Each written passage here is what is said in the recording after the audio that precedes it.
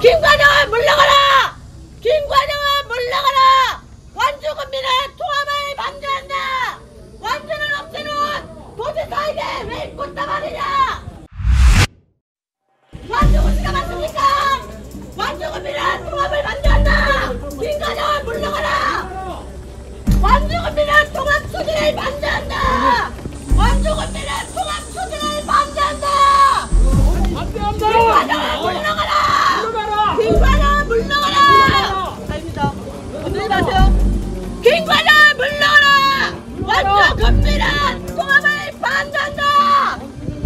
꽃다발이야! 안정호 씨가 맞습니까?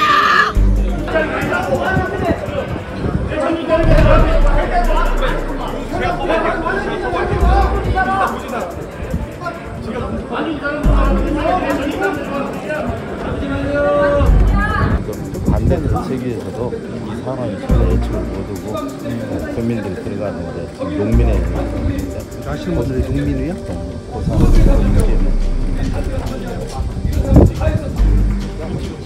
TV에서 비디오가 이렇게 있는 거예요.